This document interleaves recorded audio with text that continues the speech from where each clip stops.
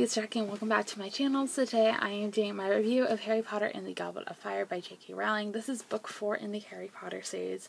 Obviously if you've been following me for a while now, you would know I reread the entire Harry Potter series in the months of July and August in preparation for the release of The Cursed Child, which was released at the end of July. Now I have still not read The Cursed Child, to be honest. I haven't read yet, but I, I've been lending out to a neighbor, so I haven't gotten a chance, but I am really excited to read it finally um, when I get around to it. So this is book four in the Harry Potter series, like I said, and I really enjoyed it. I gave it a 5 out of 5 stars. I thought it was fantastic to reread for the fifth time.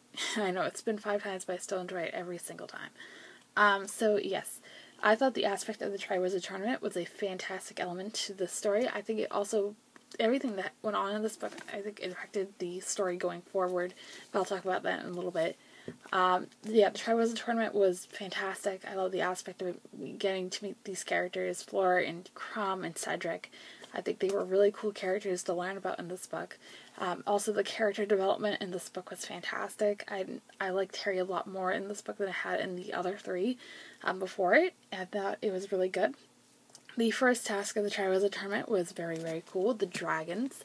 That was probably one of my favorite scenes in the entire book was the dragon scenes um, you know, getting having the uh, four competitors getting the golden egg from a dragon is very cool. And of course, the golden egg holds the clue to the second task. And I thought that was really cool. Um, and then the second task was very creepy in some aspects, but it was also really cool to picture in your mind and also watch it in the film adaptation. Um, so even though it creeped me out, I really did enjoy it. It also held one held one of my favorite scenes the entire book or movie, and that is when Harry is in the prefect's bathroom, and of course, Moaning Myrtle is there, um, and he has to go underwater and read the clue that way. And I thought it was really, really cool to get to see that happen.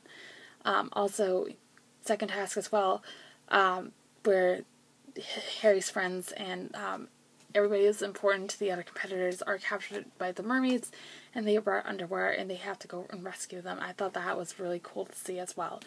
Um, thought it was fantastic. And then the third task with the maze, I thought that was super intense, but led to one of my favorite scenes in the entire series um, with the first face-to-face confrontation battle with Harry and Voldemort. I thought that was fantastic.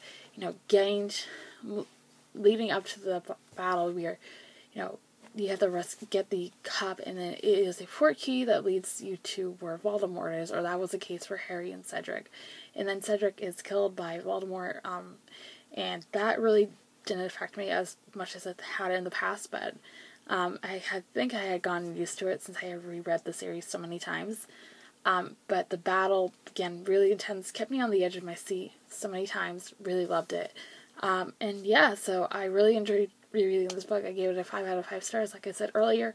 Um, I think all the scenes that happen in this book are going to affect this. I thought they affected the series as it went along, especially in the fifth book.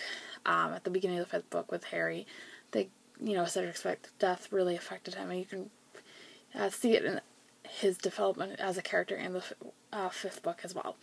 So, like I said, I it 5 out of 5 stars. Highly recommend the series you for you guys if you haven't already read it. And yeah, so that is all I'm going to have for this video, guys. I hope you guys enjoyed. If you did, please give it a big thumbs up. And don't forget to hit that subscribe button down below if you haven't already. I'll have all my social media links linked in the description box as well. I have Twitter, Instagram, and Goodreads. And I also have my website and my uh, book depository page down below if you guys want to check those out. And I will see you guys on Wednesday for another video. I hope you guys have a great day. I will see you soon. Thanks for watching, everybody. Bye!